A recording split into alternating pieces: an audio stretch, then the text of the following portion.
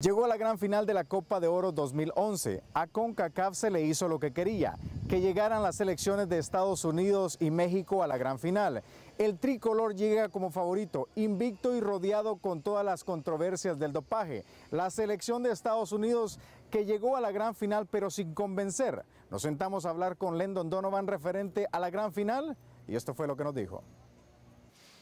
Um, creo que desde el primer día han jugado mejor que todos, que nosotros, que Panamá, que Honduras, que todo. Um, uh, sus últimos dos partidos eran un poco más difíciles, pero todavía es un equipo muy fuerte. En partido contra Honduras, otro día pueden anotar tres, cuatro goles en los primeros 90 minutos. Pues va a ser difícil. Um, sabemos que vienen con mucha confianza. Um, uh, y hay razones ciertas por eso, pero para nosotros uh, sabemos que si, si jugamos como estamos jugando los últimos dos partidos, hay oportunidad de ganar, hay chance de ganar. Um, va a ser un partidazo.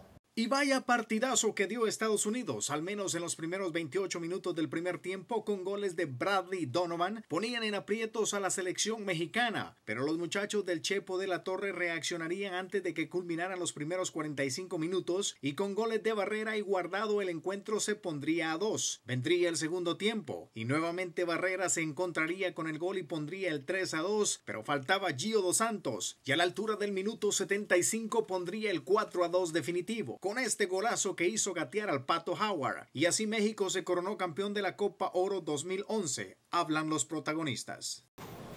Bueno, yo creo que se vio que el equipo no dejó de ser intenso, siguió proponiendo, eh, ellos eh, estuvieron defendiéndose y bueno, creo que se fue muy contundente y eso fue lo que marcó la diferencia, ¿no?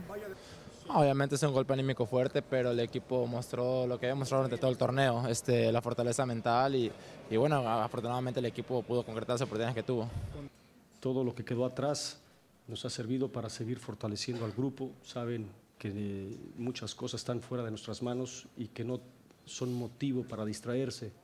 Lo que nos compete a nosotros es única y exclusivamente lo deportivo y creo que lo hicieron bastante bien por supuesto que con las complicaciones que nos presenta todas estas circunstancias y, los rivales. Con la victoria, la selección mexicana termina la edición de la Copa Oro 2011 invicta y logra su sexta Copa de Oro o su sexta corona. Ahora bien, ¿quiere decir esto que el tricolor vuelve a tomar ese mando de ser el rey de la CONCACAF?